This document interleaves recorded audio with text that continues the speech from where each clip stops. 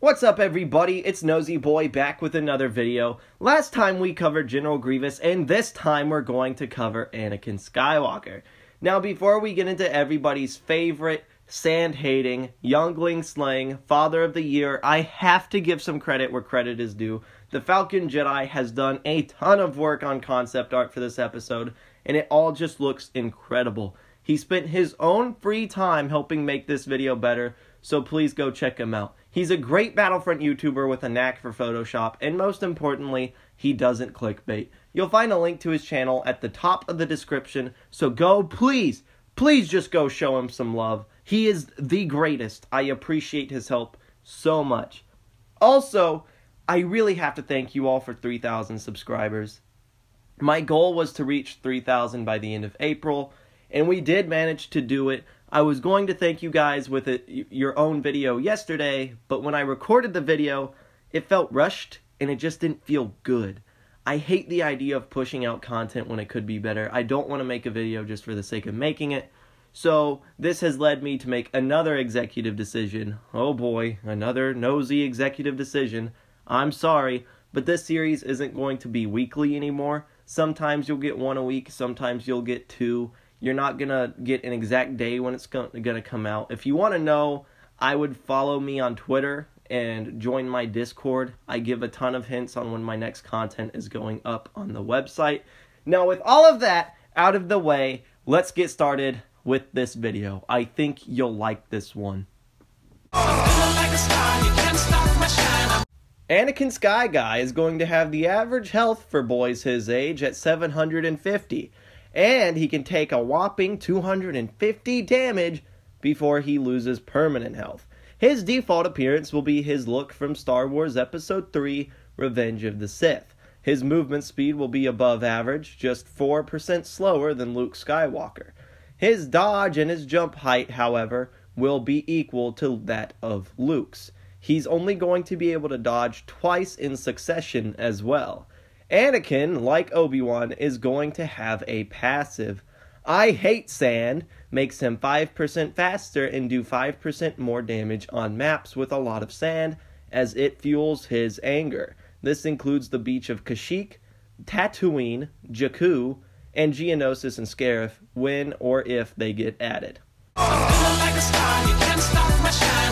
Anakin does 110 damage per swing and he has an average damage per second of 220.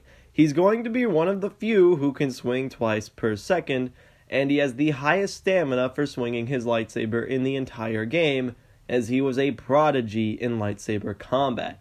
His blocking drains stamina at an average rate, and he doesn't naturally have perfect deflections. However, Anakin loses slightly less stamina than the rest of the cast when blocking lightsaber attacks, as he's one of the greatest duelists in the Jedi Order. He's not just a better duelist than the men, but the women and the children too.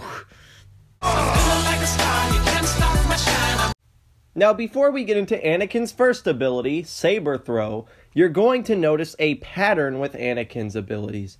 They're all variants of Darth Vader's. It would be really odd for the Darth Vader and Anakin Skywalker movesets to have completely different abilities, as they are the same person. While Vader did have to adjust how he fought due to his robotic limbs and heavy suit, I still wanted Anakin to mirror Vader in a few ways.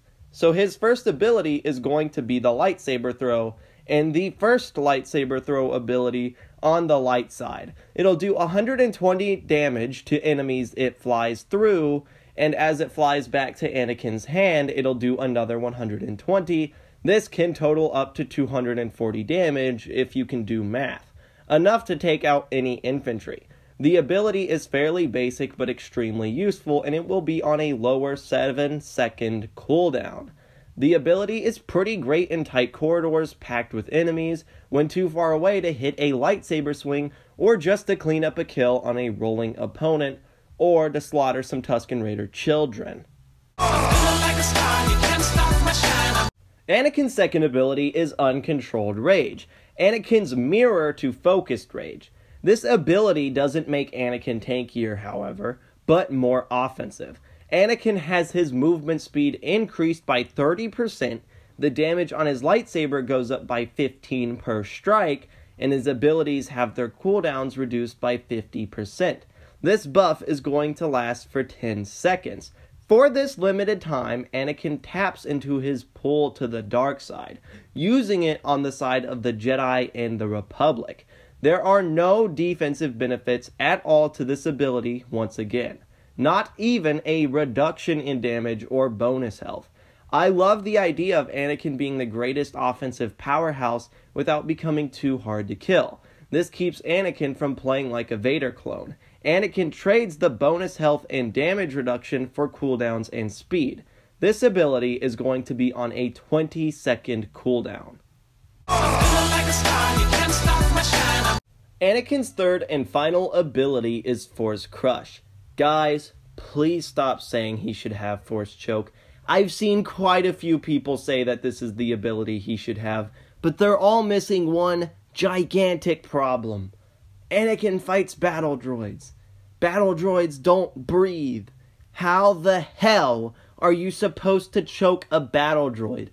Every Anakin concept with Force Choke as an ability is a 0 out of 10 because Anakin isn't fighting pregnant Padmes, and that's the only person he chokes.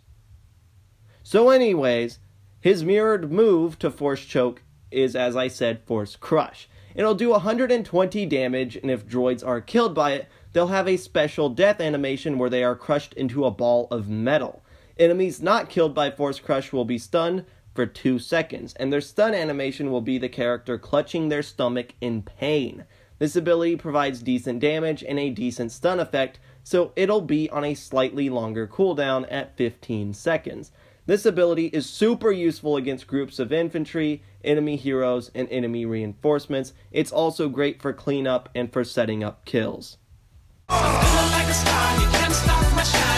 Now, I've gotten some criticism about my star card section going on for a little too long and being boring.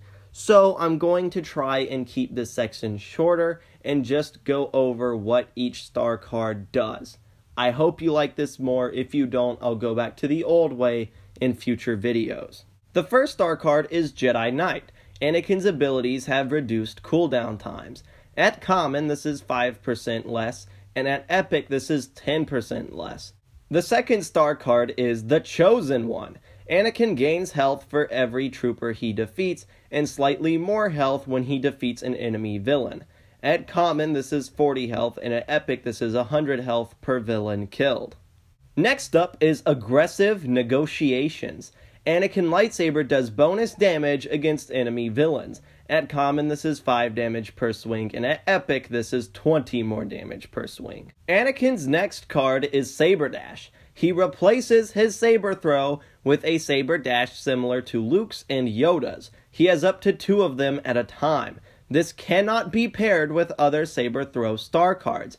At common, this dash has a 10 second cooldown, and at epic, this dash has a 5 second cooldown. The fifth card is Robotic Throwing Arm. Anakin's saber throw gets thrown farther. At common, this is a 20% range increase, and at epic, this goes up to 50%. Moving right along, we have powers have doubled. Anakin's saber throw does more damage. At common, this is a 10 damage increase, and at epic, this is a 30 damage increase. This next star card is Untapped Anger. Every time Anakin gets a kill in Uncontrolled Rage, the active time increases. At common, this is a 1 second increase per kill, and at epic, this is 2.5 seconds per kill. Next, we've got Extreme Crush. Anakin's Force Crush does more damage. At common, this is a 15 damage increase, and at epic, this is a 30 damage increase. Finally, we have improved Force Crush. Anakin's Force Crush has more range. At common, this is a 10% range increase, and at epic, this is a 25% range increase. Now that I've gone through all the star cards, I would love, I would absolutely love if in the comments down below you can tell me what loadout you would choose for Anakin Skywalker. Anakin has so many freaking skin possibilities. Let's just get right into the best part of the video. First, let's go over his episode 2 possibilities. Of course, he can have his basic look from the movie, as well as his refugee outfit with and without the poncho. Why are there so many ponchos in Star Wars? Whatever. Anakin can also have a robed skin like he has the first time we see him slaughter children. For episode 3, Anakin can have his robed look and a hooded look like we see the second time he slaughters children. And he can also have a costume with his flight headset. Also, just give Anakin his shirtless skin the more shirtless skins, the better, if you ask me. Just take everybody's shirt off, except for the women, keep them clothed. Nobody wants to see that. Am I right? We all just want to see our men all fucking. I'm not gay, whatever. Moving on, we can also give him his Clone Wars outfits from the earlier seasons and the later seasons of the show. Honestly, just give him every skin you can. Anakin is my guy, and it's not because he's an attractive dude. I swear. This is where the fun begins. I...